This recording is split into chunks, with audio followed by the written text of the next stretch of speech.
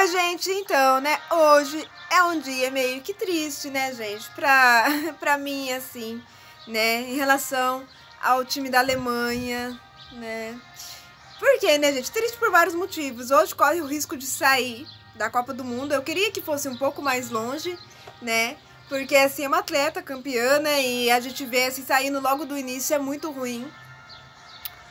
E outra porque alguns jogadores vão se aposentar, né, gente? Como Thomas Miller, Manuel Neuer, né? Então, bate uma tristeza, né, gente? Eu vou contar pra vocês como que começou, né, gente? Tudo, assim, essa... Esse... Essa idolatração pelo time da Alemanha, os jogadores e tudo mais. Começou, né, gente? Vou contar pra vocês a história. Em 2014, era a Copa do Mundo no Brasil. E era, né, gente? O que acontece? Uma semifinal de Copa do Mundo. Brasil e Alemanha. E aconteceu aquela história que todo mundo já sabe, né, gente? 7 a 1 pra Alemanha, né? virou piada, né? É, virou, assim, virou um pesadelo e tudo mais. Mas eu me lembro, assim, que eu fiquei, assim, muito é, cismada com os jogadores, né? Eu com a minha irmã Pri, na época, a gente ficou bastante cismada.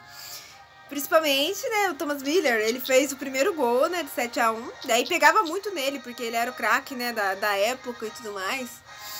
E daí também é, o Tony Kroos, né, e o Manuel Neuer, né. Uma por serem, assim, interessantes, não chegam a ser lindos, mas são interessantes. E por jogarem bem. Isso me chamou muita atenção.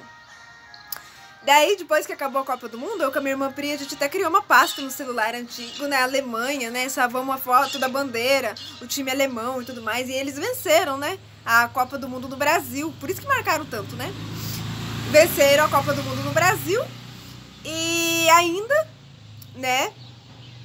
Se deram bem lá com o povo brasileiro, né? Ficaram hospedados em Bahia e se deram bem, foram super simpáticos, super autênticos né? E isso foi dando, assim, digamos assim, um interesse a mais, né? Sobre os jogadores. Daí a gente passou a conhecer um pouco mais, né? Sobre Thomas Miller, Tony Kroos, Manuel Neuer, né? Tinha o Ozil na época também, né, gente? Na época da Alemanha, em 2014. E fomos aprofundando e tudo mais, né? É, a gente tinha um interesse muito, assim, forte por eles, né? Uma atração muito forte por eles. E daí que acontece, né? É, no caso, depois, né? Depois que passou a Copa do Mundo, a gente passou a não ver mais muito, né? Mas eu continuei acompanhando. E daí, eu me tornei mais fã ainda do Thomas Miller, principalmente. Depois que eu vi que ele jogava no time alemão, que é o Bayern de Munique. E joga muito bem no Bayern de Munique, né, gente? E infelizmente, né, o contrato dele só tá agora pra 2000 e para 2024. Depois ele vai se aposentar. E eu vi alguns jogos do Bayern de Munique, daí eu fui gostando ainda mais ainda, né? Porque o Neuer também, né? O Manuel Neuer também é do, do time do Thomas Miller lá no Bayern de Munique. Né? Já fui acompanhando e tudo mais, né? Já comemorei dois aniversários do Thomas Miller, né? Porque eu gosto muito dele. E agora, infelizmente, né, gente, essa Copa do Mundo vai ser a última pra ele. Provavelmente pro Manuel Neuer também. Porque os dois têm a mesma idade, né? 34 pra 35 anos. E provavelmente a outra Copa do Mundo eles não vão estar mais.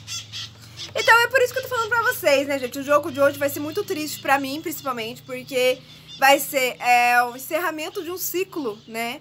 É, da vida desses jogadores, assim, que eu gostava tanto desde 2014, né? E, é claro, vou continuar acompanhando. Onde Thomas Miller fez um vídeo, né, na sua rede social, falando do jogo hoje com a Costa Rica. E eles estão em último na tabela, né, gente? Estão em último na tabela tem que vencer a Costa Rica. O outro jogo lá, não sei o que, que tem que acontecer. E isso vai dar uma angústia muito grande, né? O jogo vai ser hoje às 4 horas da tarde. E vai ser uma despedida, né, gente? Daí vai ser uma despedida e tanto, né? Porque Thomas Miller, eu sou muito fã dele, vou continuar sendo fã dele, né? Assim, ganhou minha admiração, ganhou meu respeito, né, gente? Por isso que hoje eu até me vesti de alemã aqui, né? A roupa deles, né? Que é o preto com branco, né? E daí o short preto. E daí aqui eu tô com essa blusinha aqui, ó. Como vocês podem ver, parece a braçadeira que proibiram o Manuel Neuer de usar né, do preconceito aqui, né, colorida. E as pulseiras eu fiz aqui, né, é, vermelho, amarelo e preto, que é as cores da bandeira da Alemanha, né, gente? E eu tenho uma admiração muito grande por esse time, porque eu também tenho um pouco de descendência alemã. O nome do meu pai é Alemanda, quase é Alemanha, né? E ele também gosta bastante desse time, por isso que eu gostaria que fosse um pouco mais pra frente, né? Mas vamos ver, né, gente, se hoje vai acontecer um milagre, se vai acontecer gols, se vão conseguir se classificar vai ser muito bom ver pelo menos uma oitavas de final. Mas agora se perder também, né, gente? Foi bom enquanto durou, vai ser uma despedida e tanta hoje, vai ser muito triste, né, pra mim, principalmente, né? É o último jogo do Thomas Biller em Copa do Mundo, do Manuel Neuer, né? Mas, assim, uma história bonita, né? Uma história bonita que eles fizeram e vão sair, é, digamos assim, com garra, com força, porque o que eles fizeram, assim, pensando no próximo, não, não, não é qualquer um que faria, né? Lutaram contra o preconceito, agora a Alemanha tá tendo que pagar gás lá pro Catar, né? Então, isso é muito bonito de se ver.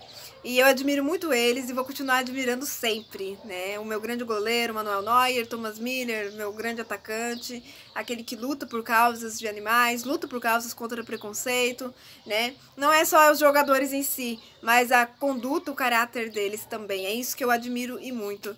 Então é isso, gente. Vamos ver hoje como vai ser a Alemanha e Costa Rica, né? Essa despedida da Alemanha da Copa do Mundo, dos jogadores, né, que vão se aposentar, Thomas Miller, Manuel Neuer, ou se vão conseguir passar, né? Creio eu que não vai dar certo, mas se der também vai ser bom, né, gente? E é isso.